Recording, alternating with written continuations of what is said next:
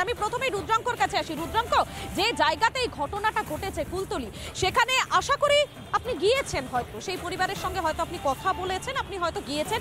যাওয়ার পথে কি আপনি দেখেছেন যে জায়গাতে এই ঘটনা ঘটেছে?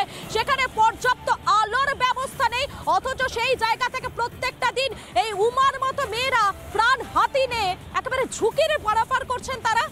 দেখুন, একটা জায়গায় হচ্ছে আলো নেই আবার আমরা যে অভয়া কাণ্ড দেখলাম, সেখানে আলো একটা জলজান্ত একটা সরকারি বিল্ডিং। সেখানে একজন অভয়া একটা কাণ্ড ঘটে গেল। আপনি নয় নয় করে আপনাকে আমি দেখেছি, লাখবার আপনি চিল্লেছেন যে শাস্তিটা কবে হবে। আমাদেরও সেটাই, সারা ভারতবর্ষ জুড়ে তো প্রসঙ্গটাই এড়িয়ে গেলেন। আমি বললাম যে একটা নির্দিষ্ট একটা প্রশ্ন করলাম, পর্যাপ্ত আলো নেই। সেখানে কীভাবে স্থানীয় বাসিন্দারা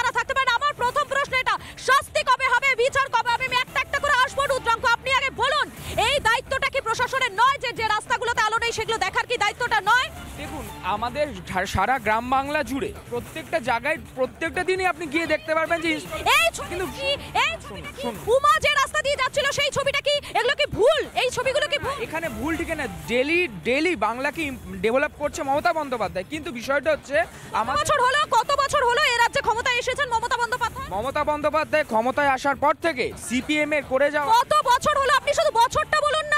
বছরটা বলুন। দু সাল থেকে দু সাল তাহলে রিতেশ দা দু হাজার এগারো সাল থেকে দু হাজার চব্বিশ সাল। কলকাতার একেবারে গা ঘেঁষা একটা জায়গা কুলতলিতে সেখানে পর্যাপ্ত আলোটা পৌঁছতে পারল না।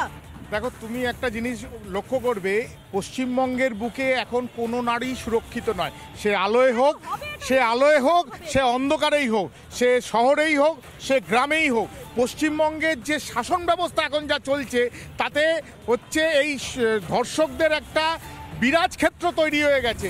এবং এই ক্ষেত্রে দাঁড়িয়ে মানে নারীদের পক্ষে বেঁচে থাকাটা এখন একটা সবচেয়ে বড় দুর্বিষহ অবস্থা হয়ে গেছে এবং নাগরিকরা যদি এর প্রতিকার না করে, রুখে যদি না দাঁড়ায়, যেটা রুখে দাঁড়াচ্ছে রুখে দাঁড়াচ্ছে বলে অভয়ার বিচারের দাবিতে বারবার পথে নেমেছে গোটা নাগরিক সমাজ এবং কুলতলির যারা বাসিন্দারা তারা এই মুহূর্তে দাঁড়িয়েও সেখানে বিক্ষোভ করছেন সরাসরি চলে যাব আমাদের প্রতিনিধি এলিনা রয়েছেন আমাদের সঙ্গে এলিনা কুলতলির বাসিন্দারা তারা তো লাগাতার বলছেন বিচার চাই কিন্তু তারা কি বলছেন?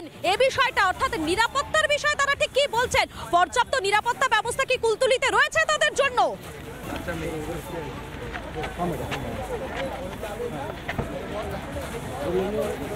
দাদা আপনারা কি অন্য রাস্তা ধরলেন?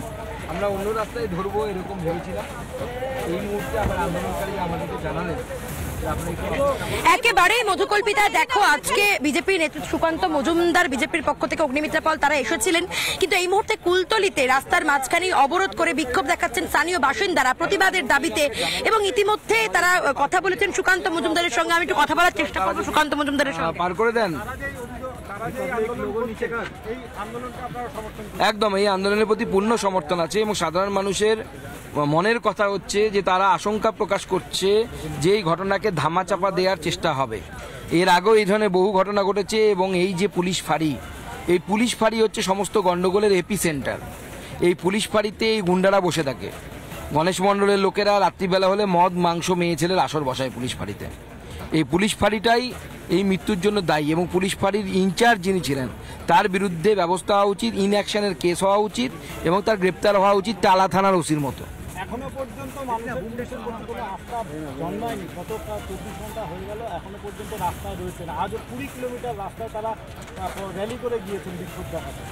মানুষ কোথাও পুলিশের প্রতি আস্থা দেখাচ্ছে না তো। এবং আমি এটাই বলছি যে এটা হচ্ছে সাইন যে মাননীয় মুখ্যমন্ত্রীর প্রতি এই মুহূর্তে বাংলার মানুষের কোনো আস্থা নেই।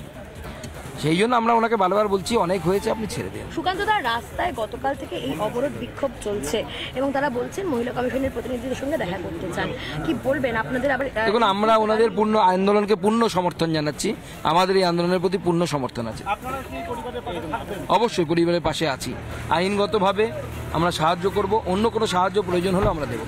একেবারে এই মুহূর্তে সুকান্ত মজুমদার তিনি গাড়ি ঘুরিয়ে যাচ্ছেন তিনি বলছেন সাধারণ মানুষ যারা স্থানীয়রা যারা প্রতিবাদ করছেন তাদের এই আন্দোলনকে সমর্থন করে তাদের অবরোধকে সমর্থন করে তিনি গাড়ি এই মুহূর্তে ঘুরিয়ে নিয়ে যাচ্ছেন। এই মুহূর্তে সুকান্ত মজুমদার তিনি ফিরে যাচ্ছেন অগ্নিমিত্রা একেবারে পল। বোঝাই যাচ্ছে কুলতুলির বাসিন্দারা তারা প্রতিবাদ দেখাচ্ছেন তারা বিক্ষোভ করছেন। আমি আবারও সরাসরি বিতর্কে আসব। কেতন আমার মনে হয় কুলতুলির বাসিন্দারা এই মুহূর্তে যেটা করছেন আন্দোলন করছেন প্রতিবাদ করছেন তারা বিচার চাই বিচার চাই। এই দিনটা হয়তো তাদের দেখতে হতো না, যদি সেখানে পর্যাপ্ত সমস্ত কিছু ব্যবস্থা থাকতো। যদি প্রশাসনের সদিচ্ছা থাকতো, তাহলে হয়তো এই পুজোর মুখে উমাকে চলে যেতে হতো না। প্রশাসনের সদিচ্ছা তো এই যে যারা এই কাণ্ডগুলো ঘটাচ্ছে, তাদের পক্ষেই আমরা দেখতে পাচ্ছি। মানে সন্দীপ ঘোষ বা এরকম যারা লোক আছে। কিন্তু এই ঘটনাটা শুধু মানে ওই জায়গাটা মানে আজকে সারা বাংলায় এই ঘটনাগুলো দেখছি। একের পর এক এরকম ঘটনা কোন রাজ্যে ঘটছে? যেখানকার মুখ্যমন্ত্রী একজন মহিলা। একের পর এক এই ঘটনাগুলো কোন রাজ্যে হচ্ছে? যেখানকার মুখ্যমন্ত্রীর নাম আবার মমতা। তাই ওনাকে একটা প্রশ্ন করতে চাই পারেন কি রুখতে সেই অত্যাচার? আছে কি আপনার সেই ক্ষমতা? করুণা কি আপনার বুকে একটু আছে? না শুধু নামেই আছে মমতা? আজকে ঘটনা একের পর আরজি করে এই ঘটনাটা দেখলাম। প্রশ্ন এটাই হচ্ছে প্রশ্ন যে এ রাজ্যের বাসিন্দারা কবে সুরক্ষিত হবেন এবং এ রাজ্যে উমার মতো ছোট ছোট মেয়েরা কবে একদম নিশ্চিন্তে নির্ভয়ে বাড়ি ফিরতে পারবে? যতদিন তৃণমূল কংগ্রেস আছে, বারবার আমরা দেখতে পাচ্ছি এই ধরনের ঘটনা। এবং সব থেকে বড় কথা, আগের দিন যখন জয়নগর থানায় যাওয়া হলো, তখন পুলিশ ওদেরকে ফিরিয়ে দিল বলল, এফআইআর নেব না। এই ঘটনা বারবার ঘটছে তাও পুলিশের কোনো ভ্রুক্ষেপ হচ্ছে না। মুখ্যমন্ত্রী বলছেন উৎসবে ফিরুন। কিন্তু সবের ওপর দাঁড়িয়ে বাংলায় কোনো উৎসব হয় না। এইভাবে কি উৎসবে ফেরা যায়? উৎসবের মুখে উমার চলে যাওয়া? একের পর এক তৃতীয়ার দিন আমরা একজনকে হারালাম। প্রত্যেক দিন এরকম ঘটনা ঘটছে। আমরা বিচার চাইছি তাই আজকে মানুষ রাস্তায় নেমেছে। বিচার চায় বিচার চাইছে পুরো বাংলা। কুলতুলি থেকে শুরু করে পুরো বাংলার মানুষ বিচার চাইছেন। আর পুলিশের ভূমিকা সেই পুলিশের ভূমিকা নিয়ে প্রশ্ন তুলেছেন উমার পরিবারের সদস্যরা। উমার বাবা তিনি ঠিক কি বলছেন বিষয়ে, একবার শোনাই আপনাদের। আমার মেয়ে পড়তে গেছিল বিকালে আমার সঙ্গে মহিষমারি হাট বাজারে। পাঁচটা থেকে পড়ে মহিষমারি বাজারে আমার দোকান আছে। আমার দোকানে গিয়ে বলছে, বাবা, আমি বাড়ি যাই। রোজ চলে আসে। আমি দোকান থেকে রাত আটটার সময় বাড়ি ফিরে দেখি যে আমার মেয়ে বাড়ি ফেরেন। মহিষমারি ক্যাম্পে গেলাম। গেলে ওখান থেকে অফিসাররা বলল যে, তুমি কুলতলি থানায় যাও, কুলতলি থানা থেকে এ করে এসো। জয়নগর থানায় গেছি আমরা।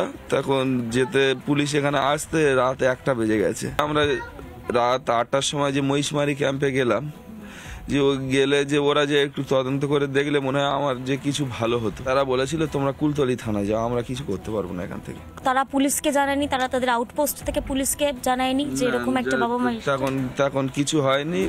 আমরা জানালে তারপরে ওখান থেকে বললে তবে এরা তদন্ত শুরু করে। জয়নগর থানা থেকে বললে তবে এরা তদন্ত শুরু। তা আমার মেয়ের পরনে যা জামা ছিল, আমি সেটা দেখে শনাক্ত করি যে কি আমার মেয়ে জলাশয়, জঙ্গলের মধ্যে মুখ থুবড়ে পড়ে আছে। ওখানে নিয়ে গিয়ে যে মেয়ের শরীরে অনেক দাগ যে ইয়েতে তোমার হচ্ছে হসপিটালে নিয়ে গেছিল নিয়ে গেলে যে পুরো শরীরে মেয়ের বিভৎস একদম চেহারা।